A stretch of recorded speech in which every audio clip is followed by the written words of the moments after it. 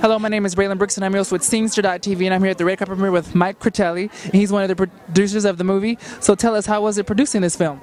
It was uh, a great time uh, being able to do something with great actors and actresses and uh, a wonderful crew and uh, a great story. What type of work ethic does a producer need to create a great film such as this one? a great deal of tolerance for adversity. Adversity? yes, because it will come.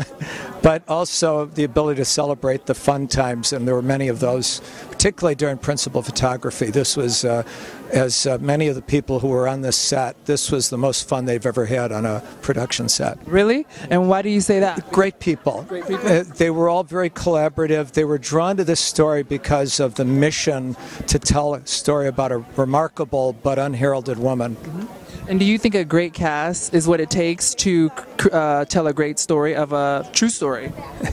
Absolutely. They have to get inside the soul of the real people and capture the essence of the story. And Taraji, in particular, uh, carrying this, did a superb job as Coach Starks. Well, you heard it from the one and only Mike Critelli here at the Red Carpet premiere from The Rough. That just happened. Thanks for watching.